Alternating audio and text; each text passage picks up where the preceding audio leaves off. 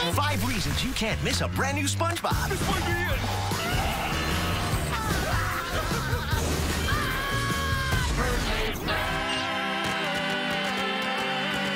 Check out the full brand new SpongeBob tomorrow at 11 on Nick. Don't want to miss it. Don't want to miss it.